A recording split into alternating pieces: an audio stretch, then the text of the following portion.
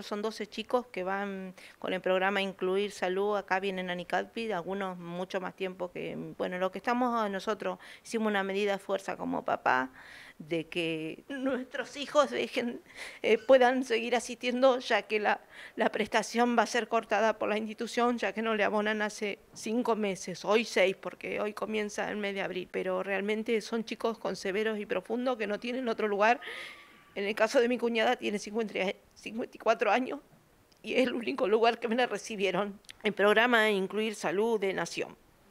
Nos adeuda todo ese tiempo a Nicadpi de deuda y no tenemos novedades de pago, por eso ahora en la intimación es contra Defensoría de Treleu y Defensoría Federal fuimos los papás a hacer la denuncia.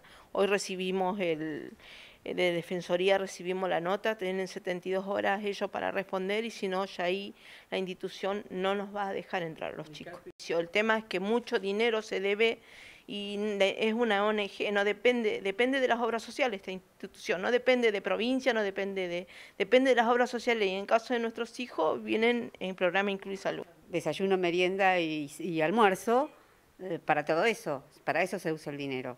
Bueno, yo en el tema de, que de, mi hija. Ella hace como 14, 15 años que concurre acá a la institución de Nicarpi. Y bueno, este, y ella vive conmigo, está en la casa conmigo. Por ahora ella de lunes a viernes está en el hogar, después el fin de semana está conmigo en la casa. Y yo realmente me siento muy mal que mi nena vuelva a la casa porque no la puedo atender. Sí, sí, sí, estamos, estamos muy tristes, estamos muy tristes por esto.